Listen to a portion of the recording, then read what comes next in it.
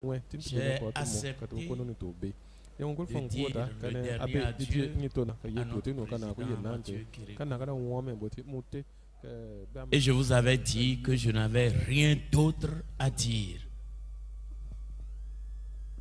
Je manquerais à un devoir de conscience si je ne prenais la parole très brièvement pour dire ce qui me passe par le cœur en ce moment. Après avoir écouté Monseigneur Pascal, Monseigneur Antoine, et surtout et aussi le vicaire général, le Père Didier. Tout a été dit du président Kérékou. Je pars de ma petite expérience de 26 ans avec cet homme.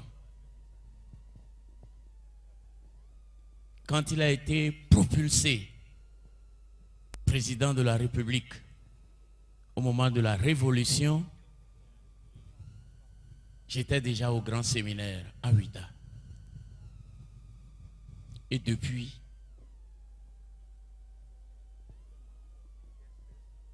j'ai médité sur cet homme. Je voudrais juste lui confier une préoccupation.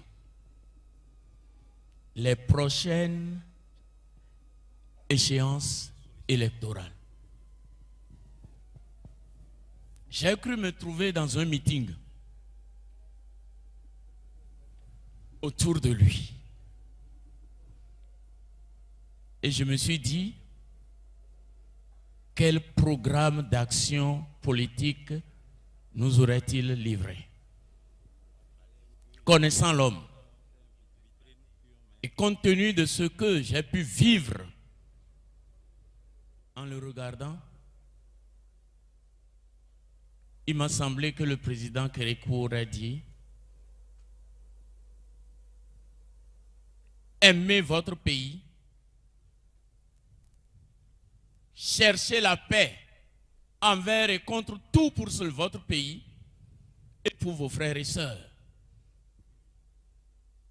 Nous disons souvent que le Seigneur aime le béné. Le Seigneur aime le béné. Le Seigneur, le béné est privilégié. Le Seigneur fait par les hommes. Et si il n'y a pas eu d'effusion de sang dans l'histoire politique de ce pays pendant 26 ans, nous le devons à lui.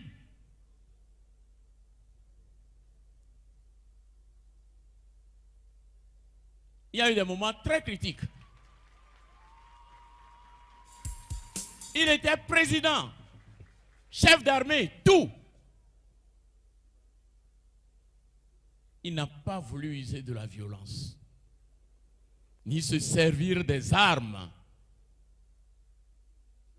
Cette nuit-là, où je faisais partie de la délégation de la conférence épiscopale, pour aller le voir dans son souterrain et dire, Monsieur le Président, voulez-vous qu'on dise, qu'on retienne dans l'histoire de ce pays que c'est sous votre mandat que pour des raisons politiques, le sang a été versé au Bénin. Il nous a regardés et il a dit non.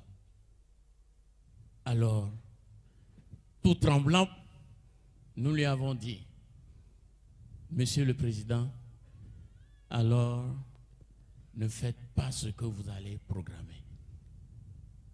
Il nous a renvoyé en disant, d'accord, j'ai compris. Nous sommes partis heureux. Et cela ne s'est pas fait. Je ne dis pas plus.